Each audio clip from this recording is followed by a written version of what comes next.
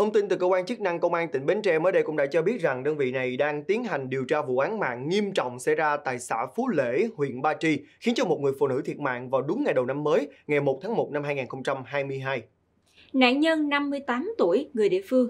Đau lòng thay, nghi phạm liên quan đến vụ án được nghi vấn là con trai của chính người đàn bà này đang bị mắc bệnh tâm thần, thưa quý vị.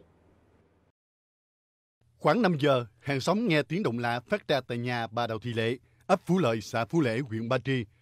Qua kiểm tra, phát hiện Nguyễn Thanh Hoàng sinh năm 1994 là con ruột bà Lệ, có nhiều vết máu trên người. Người dân gọi anh Nguyễn Phong Phú là anh ruột của Hoàng kiểm tra xung quanh nhà, phát hiện bà Lệ đã nằm tử vong, trên người có nhiều vết thương. Qua công tác xác minh, bước đầu cơ quan xác định nghi phạm trong vụ án là Nguyễn Thanh Hoàng có biểu hiện mắc bệnh tâm thần. Hiện cơ quan công an đang tiếp tục điều tra làm rõ vụ việc.